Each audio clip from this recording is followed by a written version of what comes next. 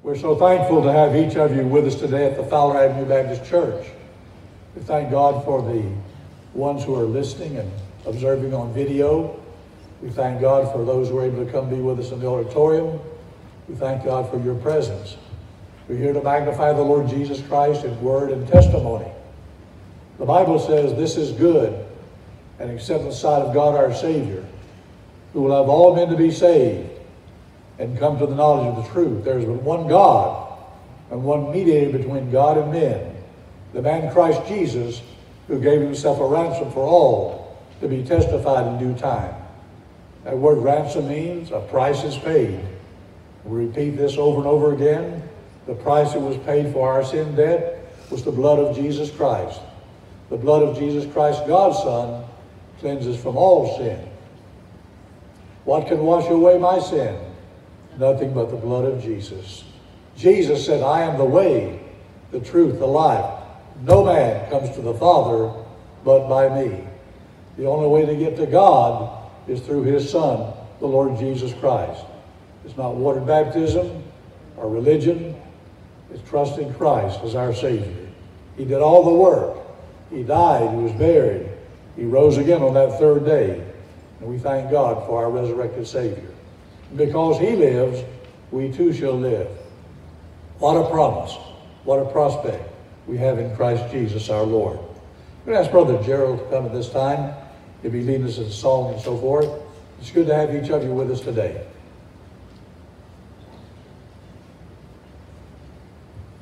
Let's take our hymnals and turn to page 508.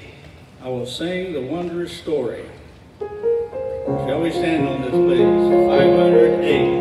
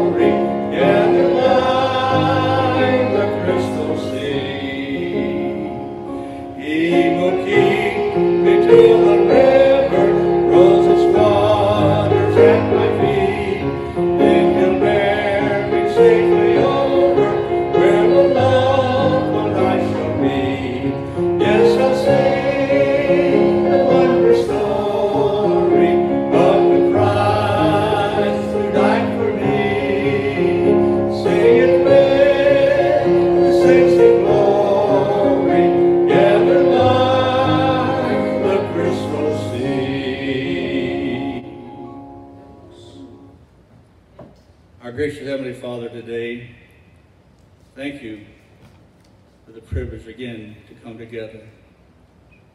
Thank you for these who found in their heart to come out today. They're not here by accident. And Father, the purpose of being together is to worship you. So help us to forget about the cares of the world and all the other problems that we bring to us. That we might worship you today in spirit and in truth. To be receptive to the Holy Spirit through the messenger and the message as they speak to us individually. Pray for those needs that we have, Father, they might be met today, whatever they might be. Pray for the sick today, those, who are not able to come out, those shut-ins, Father, pray for them that your will be done in their life. And touch them with your healing hand according to your will. Pray, Father, for those on the road traveling today, those, Father, who are just going in an opposite direction of what they should be going. Father, we ask you to take care of them the way you see fit. Father, help us realize that to worship you is very important. We pray for our missionaries today, wherever they are and whatever they're doing, Father, not only in the foreign field, but also here on the home front. Pray for our pastors today that the message they're bringing will be the one needed for the hour. The Holy Spirit might work in through the individual people. For our first responders and our military forces and our health givers, Father, and caretakers. Those in leadership of our country, Father, we pray for that. Pray for wisdom as we make our voting services this week. We might put men in office that you would want to be there for a purpose. Thank you, Father, for this time together. We ask a special prayer today for Brother Bill Gershaw, pastor friend, who's in ICU, result of surgery on his back. And Father, just meet the needs that he has right now and lift him up and draw him closer to you during this time. Be with his family, Father, and this church as well. Father, meet the leadership there. For we ask this in Jesus' name. Amen.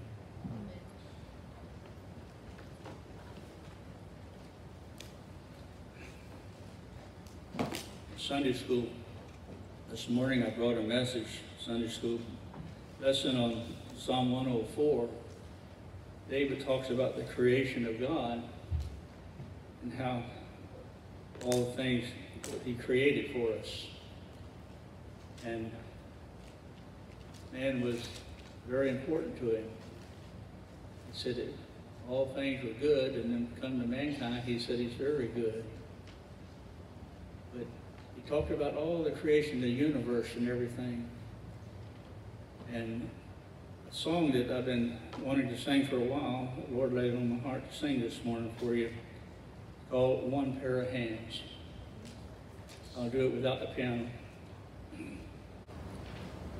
One pair of hands form the mountains. One pair of hands form the sea. One pair of hands made the sun and the moon, every bird, every flower, every tree. One pair of hands form the valleys, the ocean and rivers and the sands. Those hands are so strong, so when life goes wrong, put your faith into one pair of hands. One pair of hands heal the sick. One pair of hands raise the dead. One pair of hands calm a raging storm, and thousands of people were fed. One pair of hands said, I love you, and those hands were nailed to a tree. Those hands are so strong, so when life goes wrong, put your faith into one pair of hands.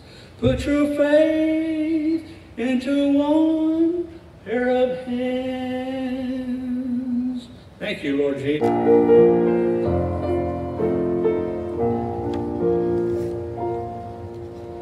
Standing on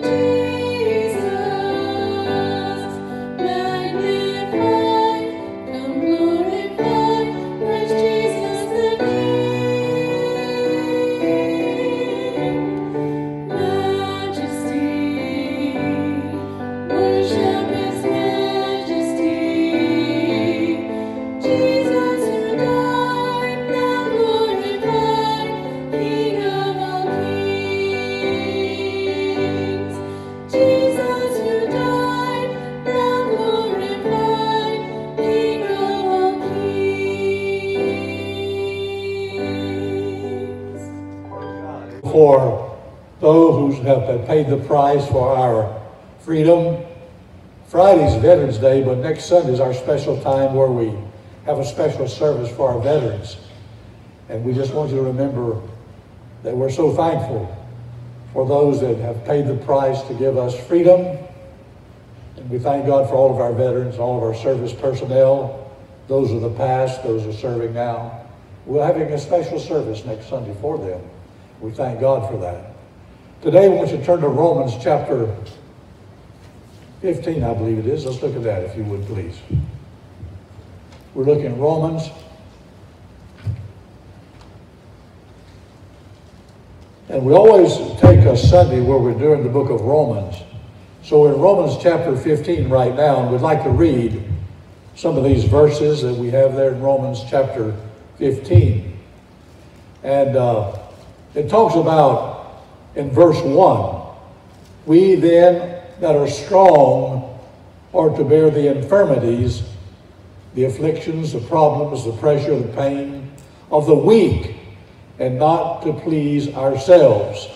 And this is a tremendous verse that we look at, but there's others that we want to look at as we read on through in Romans chapter 15. Let everyone please his neighbor for his good to edification. The word edify means to build up people. We need to encourage people, we need to build them up, not put them down. And when they do go down, we need to encourage they get back up and begin serving the Lord Jesus Christ.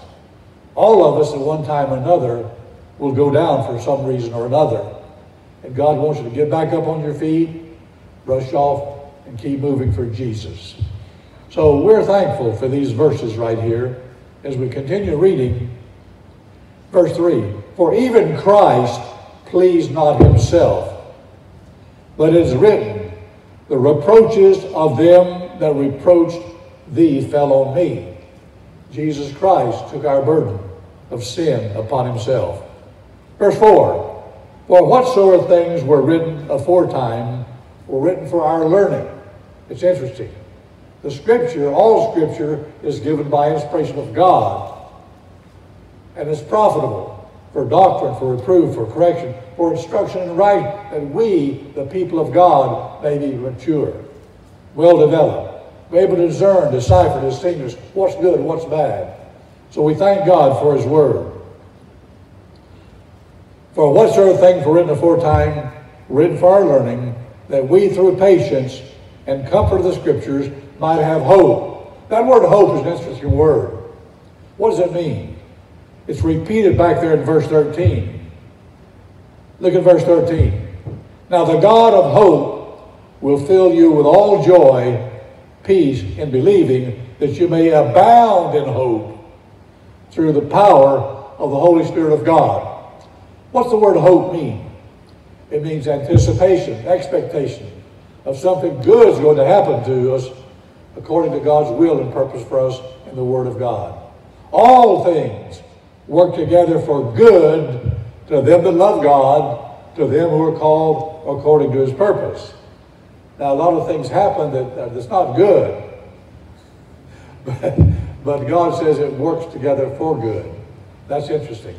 You say, uh, the preacher, I'm going through something right now. It's not good at all. And we'll experience those times. But God says all things work together for good to them that love God, to them who are called according to his purpose. If you're saved, you're called according to his purpose. He saved us by his grace. He keeps us by his power. And God has a work for you to do, whatever that work might be. On the job, with your family, your neighbors, your children, your grandchildren. God has a work for us to do.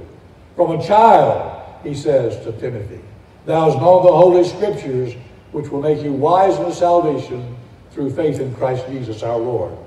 So we thank God for the Word that gives us hope, anticipation, expectation. Something good is going to happen to us. We thank God for that promise and that prospect. As we continue reading on down in Romans chapter 15, it says uh, in verse 5, now, the God of patience, endurance, and consolation grants you to be like minded one toward another, according to Christ Jesus, that you may with one mind and one mouth glorify God, even the Father of our Lord Jesus Christ. We come on down to other verses. Wherefore receive ye one another, as Christ also received us to the glory of God. Verse 8. Now I say that Jesus Christ was a minister of the circumcision for the truth of the confirmed made to the promises. He goes on down to say this, verse 12. Isaiah said, that shall the root of Jesse shall rise to reign over the Gentiles, to shall be Gentiles' trust. Now the God of hope, verse 13, will fill you with all joy and peace and believe that you may abound. God wants you to abound in hope, expectation, looking forward. Something's going good going to happen. So whatever you face and whatever you encounter, it says in verse 13, Now the God of hope will fill you with all joy and peace in believing that you may abound in hope through the power of the Holy Spirit of God. God's power, God's working with us, through us, and in us. We thank God for that. As Gerald was teaching on the Holy Spirit this morning, the Bible says, when He is come, the Holy Spirit of God, He will not speak of Himself. Jesus said, He will testify of me. He will glorify me. You find these people talking about the Holy Ghost, the Holy Ghost, you better keep a good eye on them. well, you've got to see what Jesus said about the Holy Spirit. He's come here to magnify the Lord Jesus Christ and lift him up. He will not testify of himself. The Holy Spirit has come to glorify me. He's come to magnify me, to lift me up. And that's our challenge. That's our charge. That's our ministry. As children of God, the Spirit of God living within us, He wants us to magnify and glorify Jesus Christ in our life and our body. Our body is His vessel, as we say from time to time. Our body is His showpiece. And what people see is what you do, how you respond and react to the stimuli that God brings across your plate. Do you give in? Do you throw in the towel? Say, I'm not going to serve God anymore. Every time I try to serve Jesus, something bad happens to me. Cheer up. It'll probably get worse before it gets better. I thought I'd encourage you with those words. but whatever comes your way, what, whatever comes your way, God's in charge. He knows what's on your plate. He's promised not to allow, he says, God is able to succor, help those who are tempted and tried. There's no temptation that can befall you. He knows all about it. He knows what's there. He knows what you're facing. And he cares about you. Cast not away your confidence, which has great expectation of hope and encouragement. Don't cast, don't faint in your minds. And when you begin to, the word faint, give up, give in, throw in the towel. Don't do that. Keep serving Jesus no matter what comes your way. God will see you through that experience. God will give you special strength. There's no temptation taking you, but as common to man. But God is faithful, who will not suffer you to be tempted above that you're able, but will with that temptation provide a way that you might escape or endure it. I thank God for that promise, that prospect. As we come on down looking in Romans chapter 15, we're getting down to some things that we need to realize that one day we're in the what we call the mission conference, uh, help ministries, and so one day the Jerusalem church was the where it all began, and the Jerusalem church was established by the preaching of the gospel to them. And then one day we find that the Jerusalem church began to have problems. They could not pay their bills.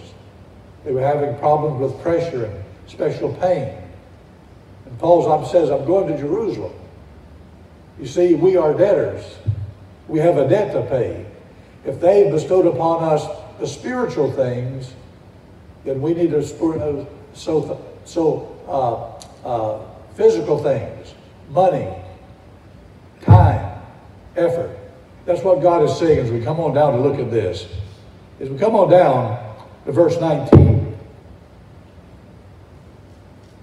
through many signs and wonders and the power of the Spirit of God, so that from Jerusalem and round about Iconium I have fully preached the gospel of Christ. Paul was a faithful preacher. He was uh, not a healthy man. We believe that probably he had problems with his eyes. But uh, even though you don't feel well and you're going through special times physically, God knows that. But He'll give you special strength. He'll give you special grace and help with those things you're facing. Verse 20, Yea, so have I strived to preach the gospel, not where Christ was named, lest I should build upon another man's foundation. He goes on to say this, but it is written, verse 21, to whom he was not spoken, they shall see, they shall not hurt, shall understand. For which cause also I have much hindered from coming to you. Many times I've tried to come to you, but I've been hindered, not able to do that. Verse 24. When, whensoever I take my journey to Spain, I'm coming to Spain. And when I get there, I want to come to Rome and be able to see you personally and minister to you.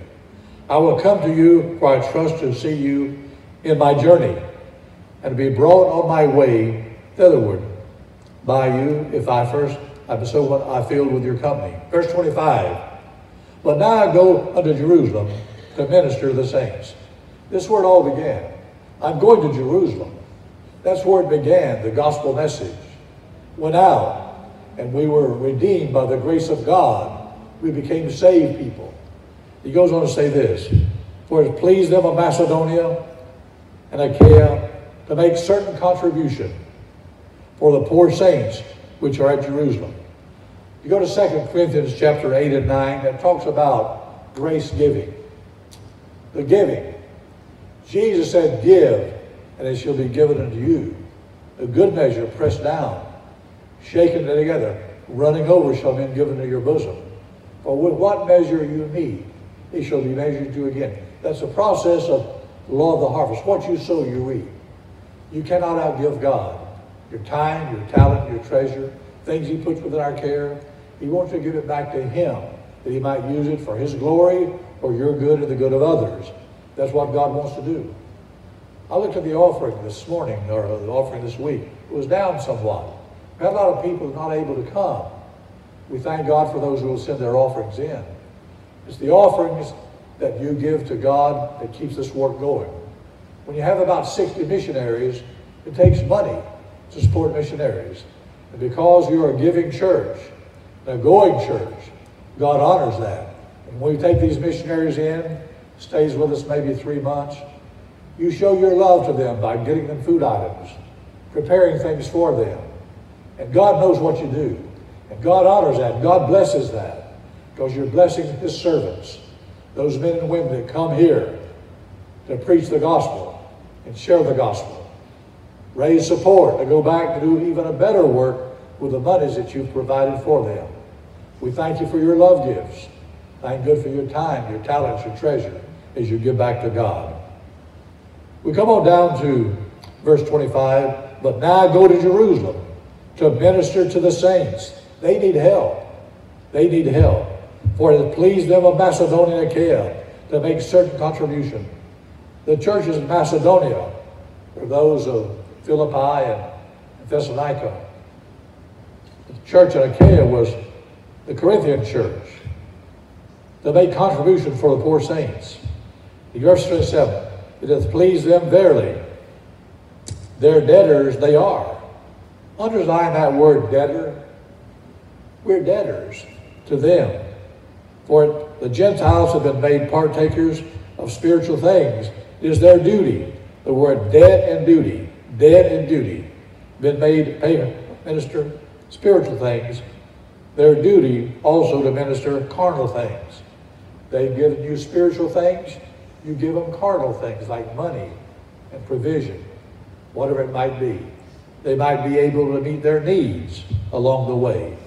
As we come on down to verse 28, when therefore I perform this and have sealed to them this fruit, I will come by you into Spain.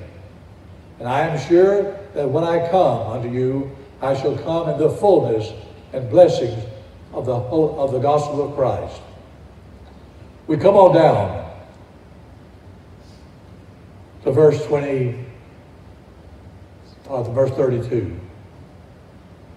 That I may come unto you with joy of the will of God and may be refreshed. That word, word, word, word refreshed is an interesting word. It's like, I'll be revived, I'll be refreshed, I'll be encouraged.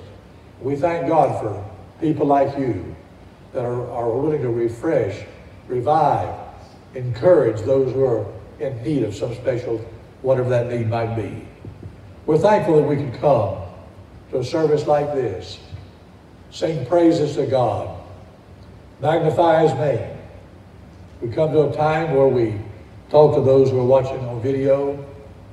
Dear friends, as you watch this video, we want to make certain that you realize that there's only one way to heaven.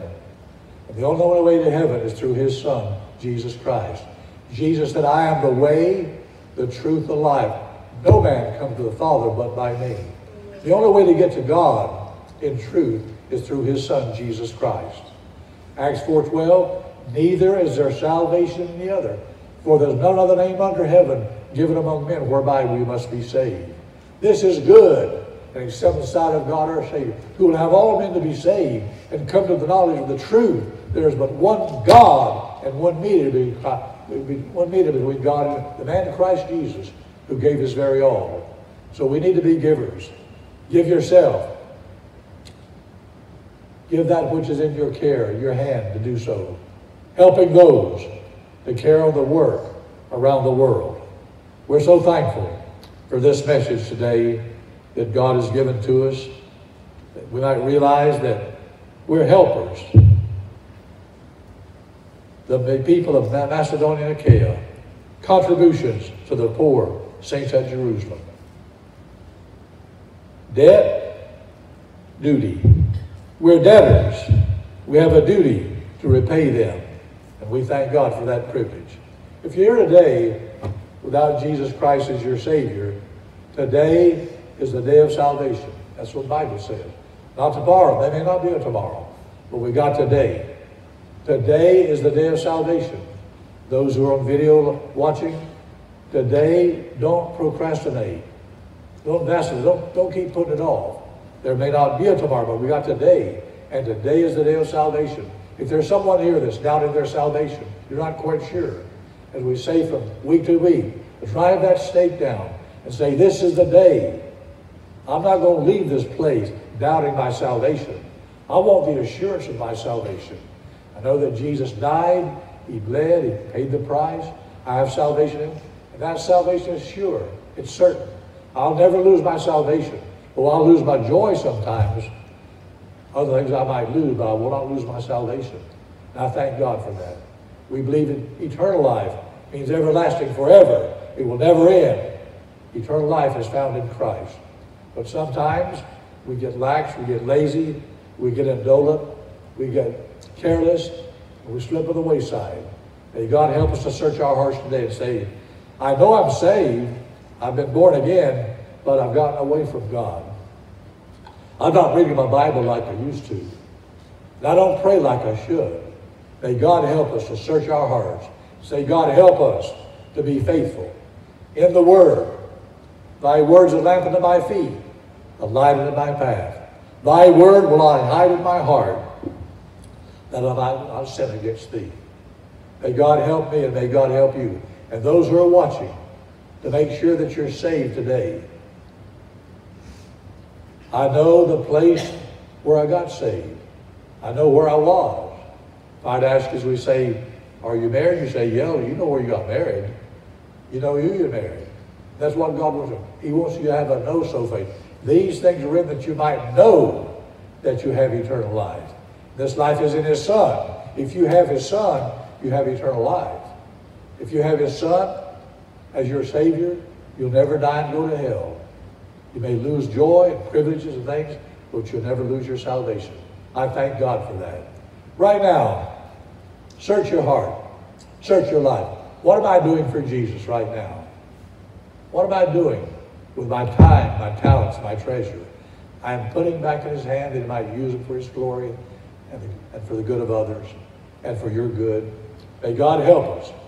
Father, we pray today, these who are watching might say, today I want to know Jesus as my Savior. Lord Jesus, I'm not trusting religion. I'm not trusting water baptism. I'm not trusting good works. I'm trusting you. You did the work. You died on that cross. You shed your blood.